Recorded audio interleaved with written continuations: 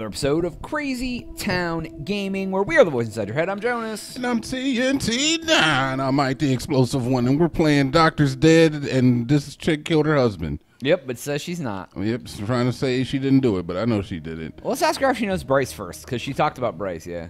Smuggling a body out of a funeral can be difficult, unless you pay the right people. Uh, that's why Dekker's coffin was empty, felt empty too. Someone smuggled his bot. She reanimated Dr. Dekker. He's living in his basement, dude. Well, maybe Mariana did. Yeah, Dr. Dre's dead. He's buried in my basement. I'm honestly, Mariana is becoming more and more of a, uh, a the killer to me.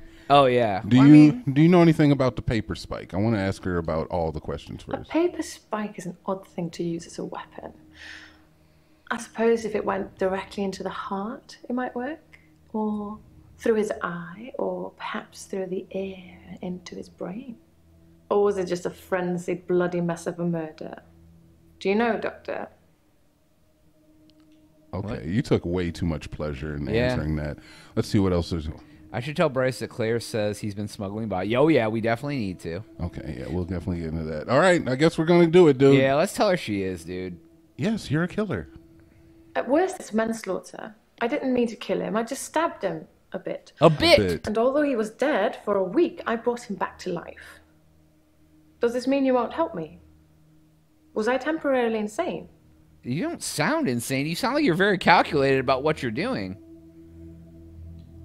Yeah, I'm. I'm not. Nah, dude, I'm not helping. Oh, I can't do it, dude. I can't do it, Claire. We can tell some lady we're gonna call the police, but I can't like mess with the law, right? Like, Uh, like, we can't do it in good conscience. yeah, it, we would lose our license over that. I think even beyond losing our license, our sense of humanity would be gone if we were to assist this woman in getting away with murder Yeah, dude. And uh, necromancy. don't- yes, and necromancy. No, you weren't. I'm going to pretend that I didn't hear that. Let's have a few more sessions before you seal our fates. Or is it that you want something else? Like Dr. Dekker did. Oh, what did he want?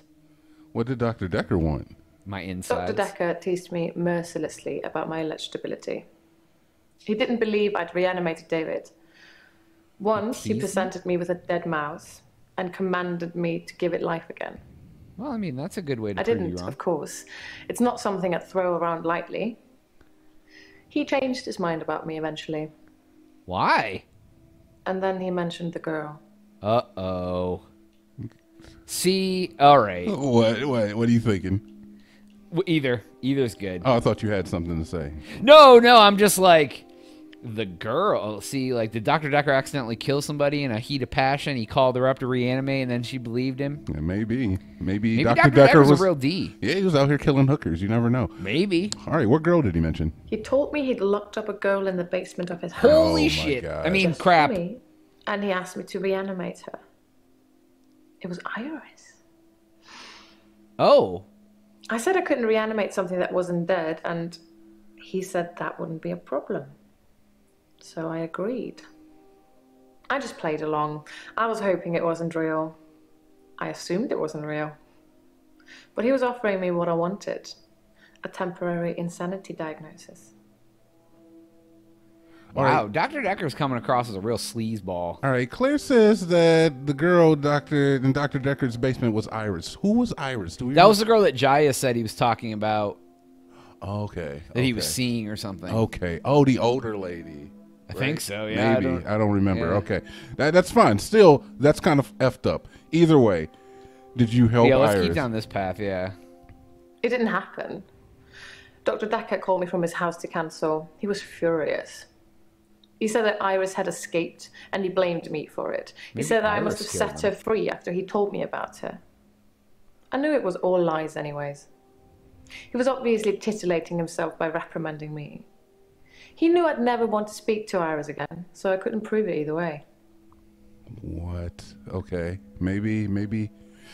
All right, what changed his mind about you? Because right now you're coming across as a maniac to us. Oh yeah, dude. Absolute crazy. And then she's lady. throwing Dekker under the bus like he's a deviant, like holding girls captive, and I mean, he, he he's and one if she got away, Yeah, I mean, we can't prove anything she's saying is true. Oh, I wouldn't believe anyway her at this point.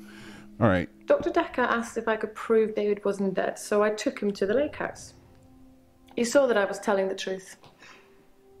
I can take you to see him too, if you like.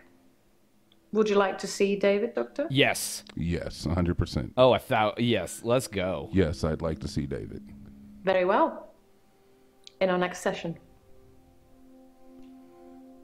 All right, cool. How is it possible David was brought back to life?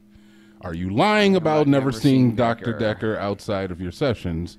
Or did you Speak to the girl. speak to the girl at the lake house? All right, let's let's Yeah. find out how she gained her abilities. Yeah. You tell me. What could possibly explain that? I don't like your coy behavior. Yeah. Right. Oh man, we got a bunch of stuff here now. Do you think you might be seeing a David's ghost? That's what I was thinking. I assure you, David is not a ghost. I've touched him. Where she touched him.